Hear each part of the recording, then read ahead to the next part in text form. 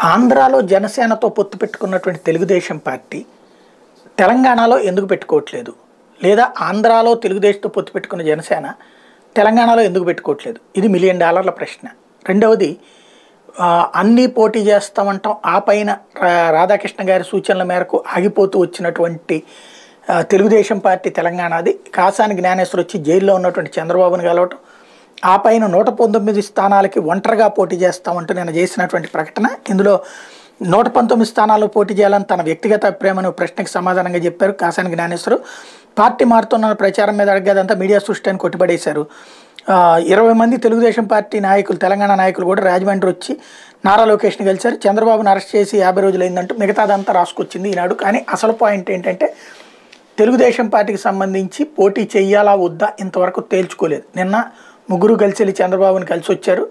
మరి చంద్రబాబు నాయుడు ఏం చెప్పారో తెలియదు. ఇవాళ స్పష్టత రావాల్సి ఉంది.